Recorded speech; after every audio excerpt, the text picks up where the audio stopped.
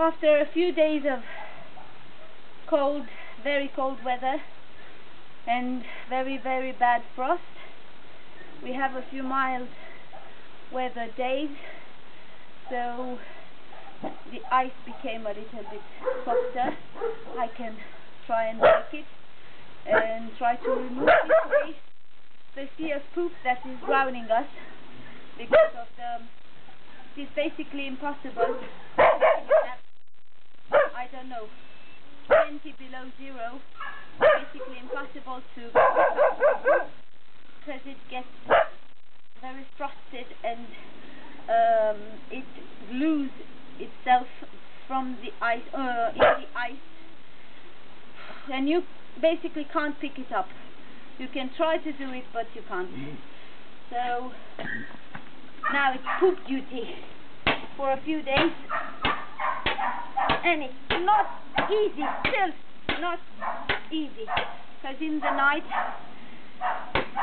all the the melted ice becomes just like a mirror on the on the ground and it's very slippery, very dangerous and very hard to again to pick up the poop. But what you have to do. Somebody has, has to do the dirty work.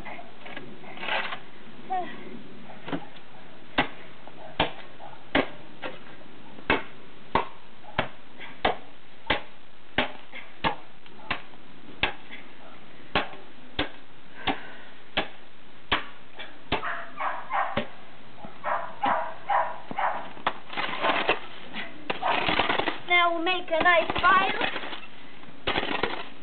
icy poop. Poopsicles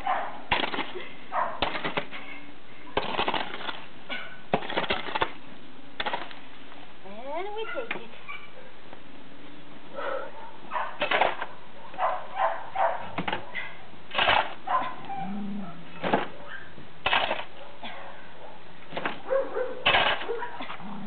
It's a very refreshing way to spend your afternoon.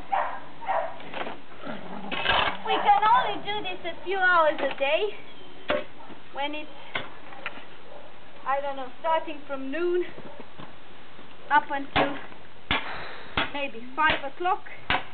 Because after that, everything becomes very, very hard again. Impossible to break.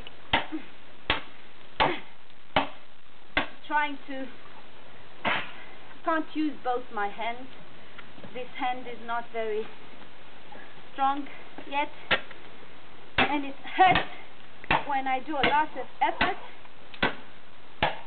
So I can only use use it for not so much not so long.